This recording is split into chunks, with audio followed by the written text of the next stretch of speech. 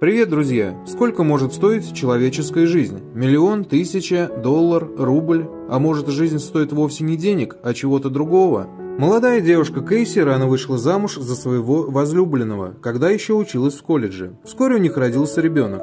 Но молодая мама не стала бросать учебу. Благо, выпускной уже был не за горами. Свободного времени всегда катастрофически не хватало, но Кейси не жаловалась. В один прекрасный день между занятиями она решила перекусить в кафе неподалеку. Заказав себе еду, девушка увидела бездомного, который тоже зашел в заведение, чтобы поесть, с огромной горстью мелочи, которую он насобирал, прося милостыню. Но персонал не хотел обслуживать такого клиента, да и посетители все от него шарахались. Тогда Кэсси решила его угостить и сама купила ему кофе и пончик. Цена – пара баксов. Мужчина поблагодарил ее, но Кэсси не хотела его отпускать и стала расспрашивать о жизни, о том, как мужчина оказался в таком положении. Бродяга поначалу не хотел с ней общаться, но девушка была настойчива и располагала к себе. Тогда мужчина рассказал, что его зовут Крис, его мать умерла от рака, а отца он никогда не видел. Он долго принимал наркотики, из-за чего оказался на улице, и за это ему очень стыдно. Теперь он пел песни и просил милостыню. Большинство людей были с ним очень жестоки и унижали его. Кейси разговаривал с ним более двух часов. Она сказала, что не встречала таких честных людей, как Крис. Также в конце разговора Кейси заметила, что Крис что-то царапает на клочке бумаги, но спрашивать ничего не стала. И только когда они прощались, то